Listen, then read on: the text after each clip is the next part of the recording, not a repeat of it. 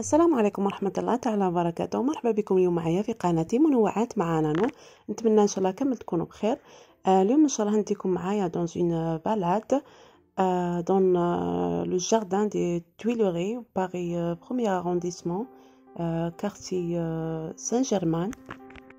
Le jardin est situé entre la Seine et la route de Rivoli et entre Louvre et la place de Concombre. Sa surface est presque 25,5 hectares.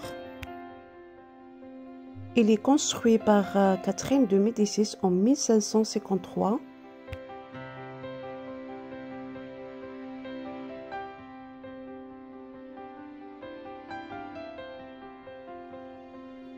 Les jardins sont embaulés en 1664 par le paysagiste André Lenôtre.